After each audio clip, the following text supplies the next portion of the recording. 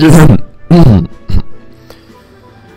guys, uh, it's someone, and uh, I have discovered a groundbreaking, game-breaking bug and glitch stuff in uh Smash 4. Uh, you just, you know, you just select Bayonetta, you press start, and you'll see what happens. Uh, that's the wrong screen. Um, here it is. Here's the screen. Yeah, that's the way how you win everything in Smash.